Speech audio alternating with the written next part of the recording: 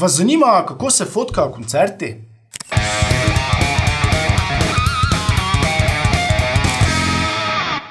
Potem ne zamudite naše super delavnice koncertne fotografije s Sašo Kjusekom. Zdravo, Saša. Zdravo, Grega. Kak si? Odlično. Ti kot izkušen koncertni fotograf, kaj je najtežje pri fotografiranju koncertov?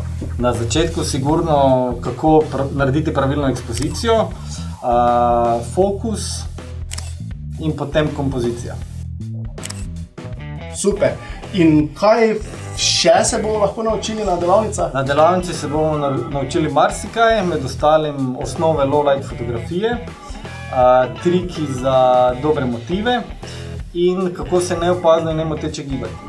Je kul cool. in kaj je najboljšega na tej delavnici? Najboljše na tej delavnici je fotografiranje koncerta v živo in sicer dveh odličnih mariborskih bendov, Oktober in Madame Bromovski v dvorani Gustav v pekarni. Drugi dan pa se bomo dobili, pogledali izbrane fotografije, vsakega posameznika naredili fotokritiko. To je to. Pa super.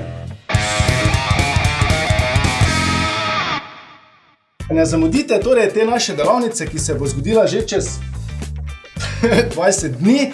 Prijave potekajo do 25. septembra, število mest je omejenih. Za več informacij se priklikajte na naš blog viškem.com/blog, tam so tudi vse informacije o prijavi in o ceni in tako naprej.